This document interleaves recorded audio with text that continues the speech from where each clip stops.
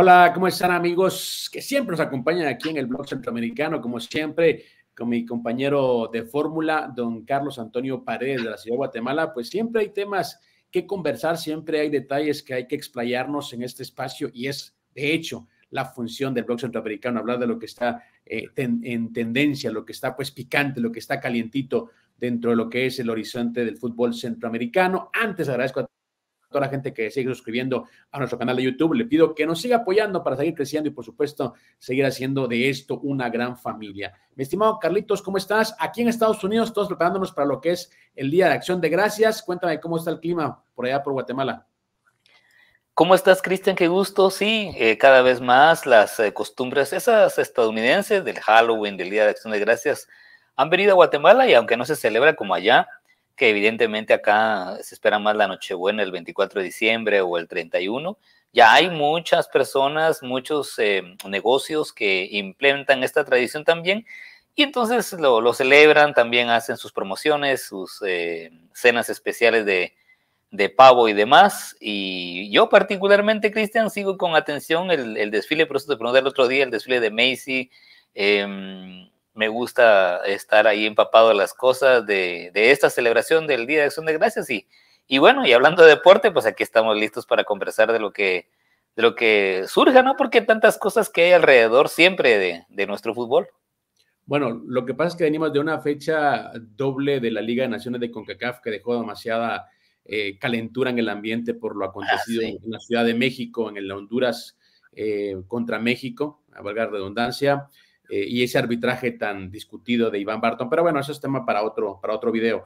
Hoy he estado revisando y, veo en redes sociales, hablando específicamente de Guatemala, mucha gente, eh, por eso quería que, eh, que, me acompañaras también en este video, porque mucha gente menciona al mediocampista, me parece que es José Corena de Comunicaciones, colombiano, tiene cinco años, un poquito más residiendo en el país, es decir, entiendo que por el reglamento eh, que te exige tanto FIFA como el país, podría ser un tipo que podría ser muy bien elegible para eh, Tena y su proyecto. vos que lo ves cada fin de semana, ¿crees que José Corena, por ejemplo, porque vamos a mencionar algunos, pero José Corena que está ahorita en la boca de todos, ¿crees que sí podría ser un buen refuerzo para la selección? Mira, José Corena es un buen jugador que vino a Guastatoya, por cierto que también fue actor de, de Netflix, ahí está en una serie de de Colombia, de la selección Colombia. Pues él hace un personaje ahí, entre, entre esa serie eh, eh, ejemplifican al trabajo de Valderrama, y de Asprilla y todos ellos, y en uno de estos personajes es José Corena, como dato curioso. Bueno, vino a Guatemala, a, al Guastatoya, y pues su buen desenvolvimiento lo llevó a comunicaciones. Es un jugador muy completo del medio campo, bueno, diríamos incluso de, de la parte del medio campo hacia adelante o hacia atrás Inicialmente como volante de contención, ha sabido jugar perfectamente bien como defensa central, también es como un volante mixto. Es un jugador muy completo, no tiene mucho gol, pero su aporte siempre ha sido valioso. Eh, ahora bien, Cristian, nacionalizarlo, bueno, esa es siempre constante idea de la afición cuando hay necesidad de encontrar jugadores buenos que, que lleguen a aportar. En su momento se ha hablado de, tantos. ¿Te acuerdas de Carlos Camiani? Nunca pudo ser, pasó su mejor momento y pues nunca va a ser. Eh, se habla incluso de Rotondi, jugador de Municipal, pero de Malacateco antes, pero su nivel ha decaído y después se ha metido ahí con, líos con la afición de Municipal por, por fallar mucho y en fin ya no se bajó esa, esa idea. Corena pues también surge como un jugador pues completo, pero yo creo que sí aportaría, digamos, desde el punto de vista futbolístico, pero a la pregunta, ¿será nuestra solución o será un desbalance completo? Tampoco.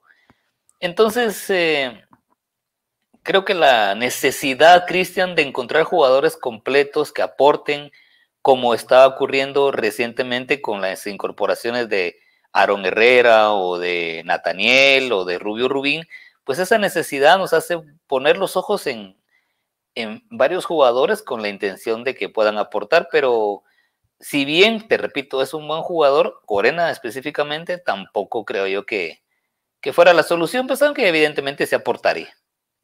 Bueno, Guatemala ha recibido el apoyo de algunos jugadores extranjeros o eh, naturalizados, por llamarlo pues, de una manera más simple. Eh, desde, antaño, ¿no? Yo recuerdo a Emilio Mitrovic, a Piccinini, pues, que son argentinos que jugaron con la selección guatemalteca, los dos, pues obviamente de muy eh, buenas actuaciones.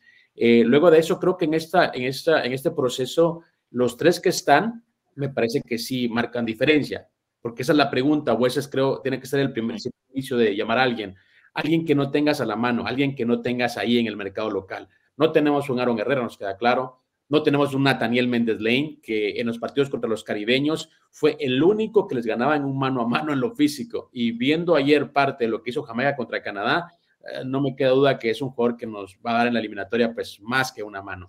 Rubio Rubín, pues obviamente de retiro del Pescado Ruiz, no hay un delantero, él es creo el, tipo más efectivo desde retiro de Carlos el Pescado Ruiz hace unos días también eh, bromeaba con alguien y le decía, imagínate lo que hubiera sido de, Marco Papa si no se hubiera metido en problemas. Este hubiese sido su eliminatoria en su, en, su, en su madurez futbolística, un jugador que no hay en este momento en Guatemala, pero bueno, hay que, hay que buscar eh, en, otros, en otros lados en este momento.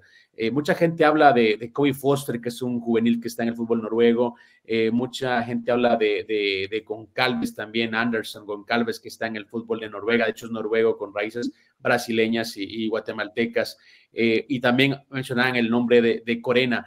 queda claro que hace falta refuerzo, nos queda claro que hace falta gente que llegue a aportar, hace falta mucha mucho punch en la media cancha, tanto en la contención como en la creatividad, y por eso, por eso es que uno de repente dice, bueno, si, pues si no hay en el mercado local, si no hay en este momento, porque creo que los que están ahí, no hay ninguno que se haya perdido, o sea, a nivel local no creo que haya alguna joya que no haya descubierto Tena, entonces es el momento, creo yo, de, de seguir buscando en el extranjero, porque si le atinaron o hicieron un buen papel, tanto Herrera, Rubín como, como Nathaniel, yo creo que, bueno, no es, un, no es descabellado pensar que hay que buscar una vez más afuera.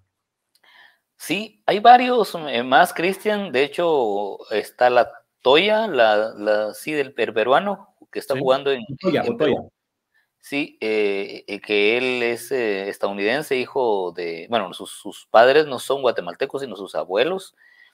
Y así, la federación se ha, no la federación como tal, de hecho hay un personaje que se hizo viral hace unos cuantos meses que surgió a la luz que es el nexo que convenció a Nathaniel, o sea, hay una persona trabajando, en la, no, no trabajando porque no recibe un salario, pero hay una persona alrededor de la federación que lo hace a honorem, que está sondeando todos aquellos jugadores que tengan algún vínculo guatemalteco y que puedan jugar con la selección. Así fue como encontraron a Nathaniel, así fue como encontraron a, Rubio Rubín y Rubio Rubín ya convenció a Aarón para, para que viniera a la selección Em, antes había comenzado con el Chucho López, cuenta la anécdota que la contó a Marini el otro día, que estaba en el estadio y alguien, un aficionado, le fue a decir, mire, ese muchacho del América, cuando el América llegó a jugar contra, contra Comunicaciones, ese, sus abuelos, sus padres, algo le dijo, son de Guatemala, puede ser. Y a Marini se puso a investigar y efectivamente encontraron que había un vínculo y, y ya se vino el Chucho López para, para Guatemala para jugar con la selección, bueno, y ahora milita acá con comunicaciones. Entonces ya hay un radar ahí que anda, anda rondando y anda buscando esa, reitero, reitero, Cristian, esa necesidad del equipo nacional de encontrar jugadores eh, que nos salven, que nos aporten, que nos apoyen, que nos hagan más sólidos. No es sencillo tampoco porque ya ves que también hay intereses de otros países, más cuando Honduras o El Salvador. Pasó con Roland, ¿te acuerdas? Que finalmente decidió jugar con El Salvador Em, entonces, esa, esa es la necesidad, digámoslo así, que se ha abierto en, el último tiempo con, con, la intención de encontrar a jugadores que vengan a aportar, ¿verdad? De hecho, lo de Alex Roland fue curioso porque, bueno, él esperó hasta el último momento a ver qué selección llegaba al octogonal final y así poder decidirse, ¿no? Entonces, bueno, yo creo que no se le puede culpar al chico, eh, pues aguantó hasta lo, hasta lo último y bueno, fue con El Salvador, no le ha ido tampoco del todo bien, pero bueno, él tomó una decisión basada en eso. Eh, yo creo que sí eh, hace falta un trabajo de cauteo y la persona que lo está haciendo lo está haciendo muy bien. Eh, no es fácil realmente encontrar gente con raíces guatemaltecas. De hecho, hace poco también publiqué una historia en Facebook de un chico que está en Dubái, un guatemalteco, Diego Alonso se llama también. Él escribí, nunca me contestó, eh, está en la International Academy de Dubai y está como, como parte de un proyecto internacional con gente de Brasil, Argentina, de otros países. Qué tan bueno sea, no sé. Cómo llegó ahí tampoco. Si es privado, si es eh, por beca, no sé, pero lo encontré. Y, bueno, deben haber regados, ¿no? Creo que hace falta un poquito más de seriedad con eso. Eh, y no solo en Guatemala, eso pasa en toda Centroamérica. y luego te voy a contar algunos ejemplos de los que yo pude vivir cuando estaba en Los Ángeles y pude entrevistar a algunos jugadores que, que, militaron en Honduras, incluso en el Mundial, y que me comentaban cómo se manejaba la federación. De hecho, en El Salvador también, este chico que trajeron de, de, Holanda se quejaba de que lo sacaron de la concentración por supuesta indisciplina. Y, y, decía el papá, es que él no tiene familia en El Salvador, lo sacaron del hotel y pues para dónde se iba, no tenía dónde ir. Entonces, detalles así que creo que nos hace falta todavía como federación, como, como organizaciones en Centroamérica, el detallar para que más gente se muestre interesada también por vestir los colores de las elecciones centroamericanas.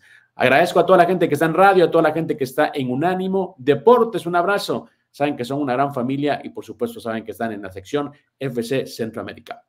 Seguimos discutiendo con eh, Carlos Antonio Paredes. Eh, bueno, ¿quiénes podrían ser los próximos eh, naturalizados, extranjeros, refuerzos de, de fuera, como se le quiera llamar, que puedan llegar al trabajo con Fernando Tena, que ha estado muy activo, lo he visto en redes sociales, en, en la liga, eh, fue a ver a la sub-20, eh, ha, estado muy activo, la verdad, Tena, y por supuesto, tiene algunos meses, pero el tiempo pasa volando.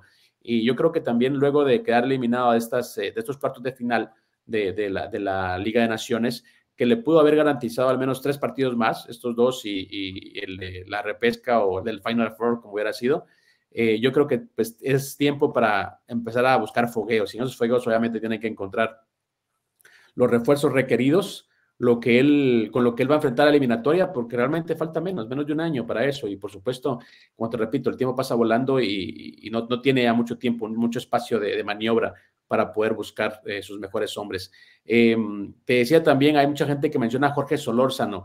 Eh, Jorge Solórzano es un chico que ya no fue a la sub-20 al Mundial, o sea, estuvo en la sub-20, no fue al Mundial, eh, fue como invitado nada más, lo llamaron, él no estuvo en el premundial, eh, se fue a una gira allá a Indonesia, eh, marcó un golazo casi a medio campo, un tipo que le pega bien de media distancia. Eh, fue nombrado el novato del año a nivel universitario con su equipo, juega con la Universidad de Northridge. Y lo que yo le digo a toda la gente, hay que ir paso a paso, ¿no? O sea, no es lo mismo, aunque sea Estados Unidos, aunque sea una liga colegial, no es lo mismo estar en una liga de universidades a ir a buscar un boleto mundial. Entonces, quizá tenga condiciones, pero no es un jugador que puedas echarle a, las, a, las, eh, a las fieras de una vez, ¿no? Tiene que haber un proceso y si no fue al Mundial Sub-20, pues tendría que tener al menos otro proceso para incorporarlo. Sí, eh, ¿qué te parece, Cristian, si hacemos un pequeño recuento rápido de lo que ha ocurrido en este sentido con Guatemala a través de la historia? El primer jugador que no nació en Guatemala, que jugó con la selección guatemalteca, pero no de, de manera oficial, fue Roberto Figueredo. Es un personaje de los años 30, de los años 20, que jugó con Costa Rica, jugó con Guatemala. ¿Cómo sería aquel tiempo las cosas que se permitía eso? Em, dicen que era un canela fina que organizó la liga aquí en Guatemala, y después eh, fue acusado de que robó imágenes en Costa Rica. En una, ahí búsquenlo un poco la historia de Roberto Figueredo, tremendo de haber sido. Pero ya de manera oficial fue Bruno Edelman, jugador alemán, portero del Politécnica, que participó en 1935 con la selección de Guatemala y jugaba acá eh, en su condición de alemán y lo nacionalizaron y jugó esos partidos en Juegos Centroamericanos y del Caribe. Después de eso sí pasaron muchos años más. Luis Pedro, no, perdón, José Pedro Segura, le decían el Tarzán, jugó con la selección salvadoreño. ¿Recordás de Dionel Bordón? Alguna vez jugó con Guatemala un partido amistoso, también fue controversial porque no había terminado el trámite de nacionalización y lo hicieron jugar con Guatemala.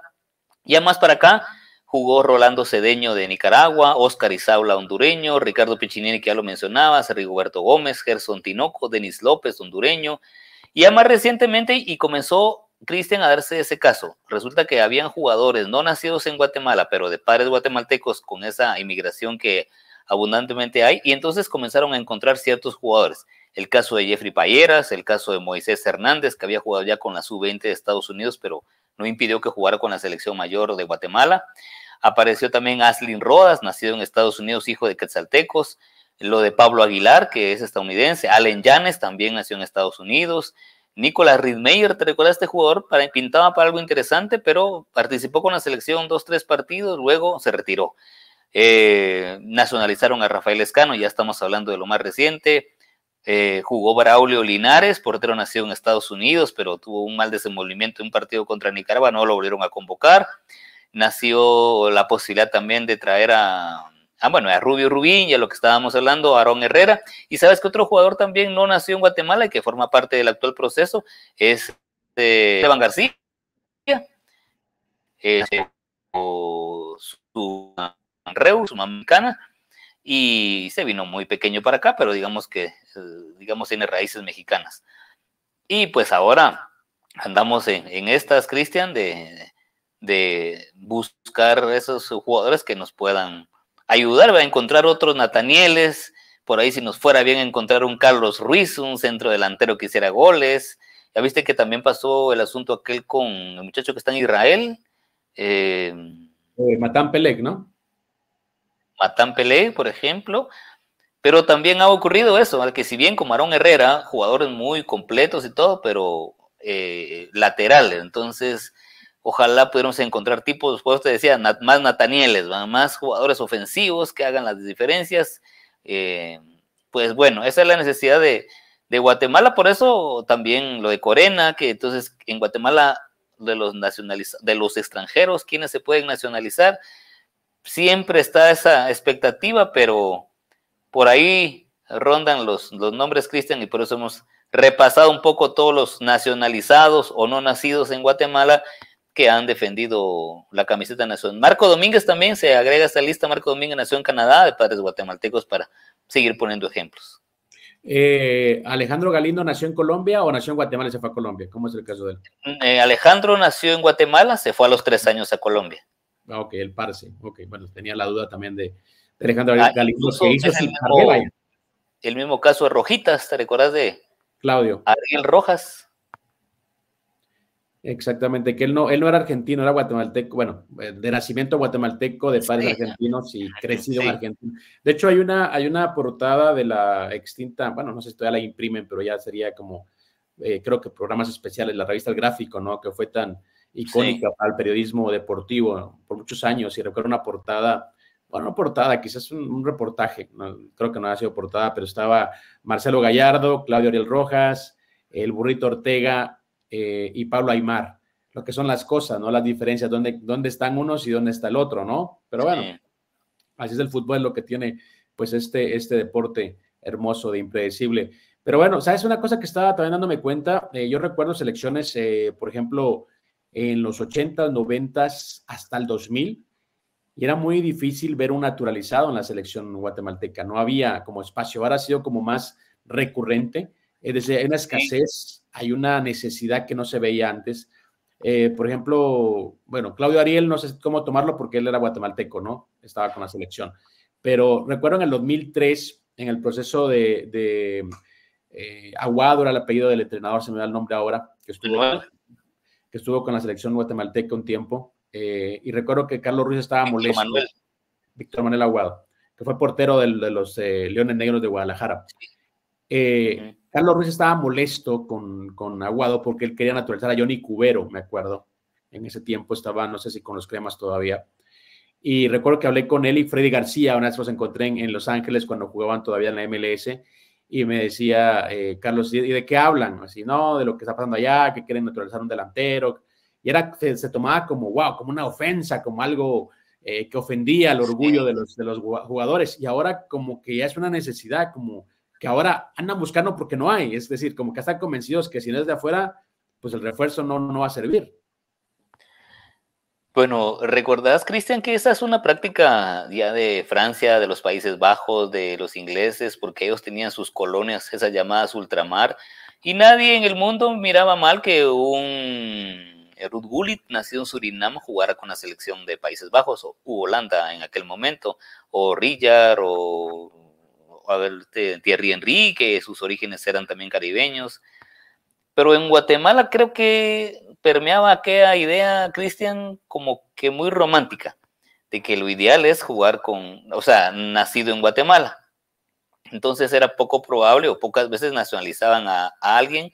Incluso escuchaba comentarios de compañeros periodistas que decían que eh, nacionalizar por nacionalizar no tenía objeto porque era un, engaño, una llamada de tusas. Por ejemplo, recuerdo que hace poco vino la selección de fútbol sala al Mundial de Fútbol Sala rusa y todos eran brasileños, o sea, nacionalizados todos brasileños.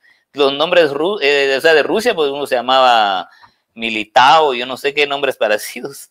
Entonces, eh, acá decían, bueno, nacionalicemos 11 europeos y juguemos así, entonces nos va a ir bien.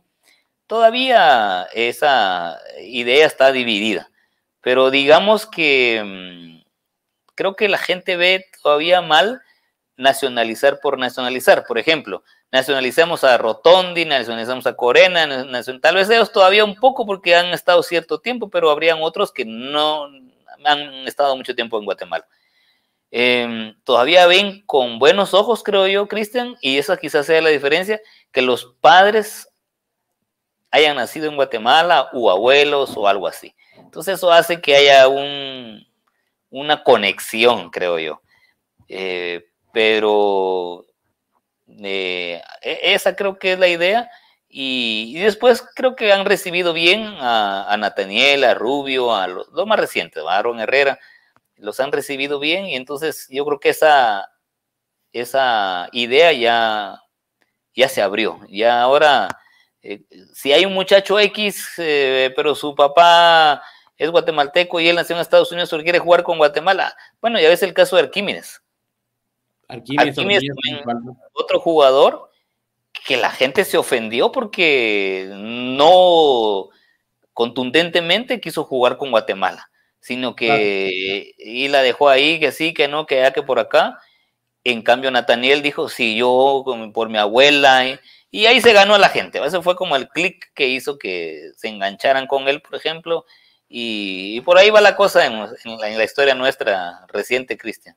Un tipo que ni siquiera habla español, ¿no? Es, lo curioso, pero sí. pero sí hay un sentimiento que sí, un ligamen que el tipo quería, quería llegar. Bueno, mi estimado Carlos, se nos acaba el tiempo. A toda la gente que nos acompaña, un abrazo. A toda la gente que no se ha suscrito, hágalo. Acompáñenos aquí. Somos el Blog Centroamericano. Estamos en Facebook y en YouTube.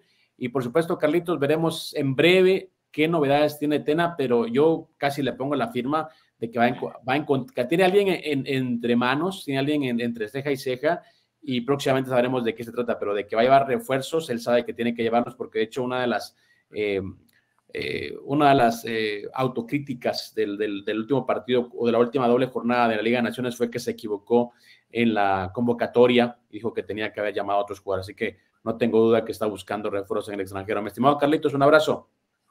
Igualmente, Cristian, feliz día de acción de gracias, que la pases muy bien. Pavo no vas a comer, no te gusta, pero igual algo va a suplir el pavo y la vas a pasar bien con tu familia. Exactamente. Un abrazo a Carlos y a toda la gente que nos sigue. Feliz día de acción de gracias a los que lo celebran y al resto, bendiciones. Siga disfrutando del fútbol.